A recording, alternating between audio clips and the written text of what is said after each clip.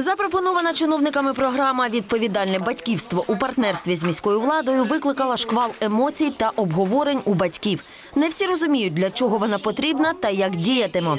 І у більшості склалося враження, що з них просто вимагатимуть гроші. Але це не так, пояснює керівниця міського відділу освіти і додає, хочемо підтримати ініціативних батьків і доповнити суми, що вони збирають на потреби шкіл бюджетними коштами.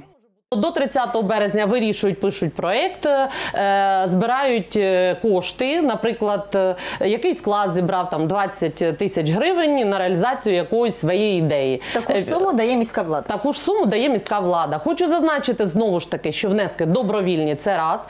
І від батьків це можуть бути як кошти, так це можуть бути якісь матеріали, а також виконані власно ними роботи. Головна мета програми покращити умови перебування дітей у навчальних закладах, і у кожної школи вже є свої ідеї. Є ідеї про те, щоб зробити е, кабінет.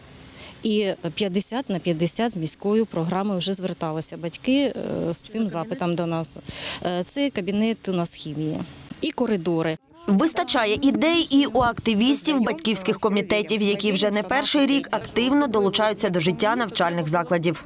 Особливо я б е, установила мультимедійні дошки у всі кабінети е, в школі. Так, Е, можливо, змінила б двері вхідні, можливо, б ще щось зробила. Але ми розуміємо, що батьки не можуть це осилити самостійно, так, хоча і хочуть, і вони мають бажання так допомагати.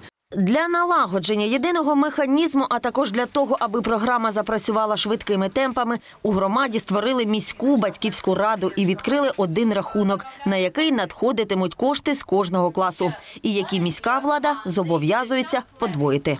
Реалізація цієї програми надасть можливість більш е, виконати масштабної роботи за умови цієї проєкту, цієї програми. Це більше батькам допомога і прозора. Вони будуть бачити, куди пішли гроші, на що витратили, як це зробили, е, контролювати цей процес. Директорка 9-ї школи Валентина Рудик ділиться своєю думкою стосовно впровадження такої програми. Давайте ми поглянемо. Е, Додається до учня, батьків і закладу.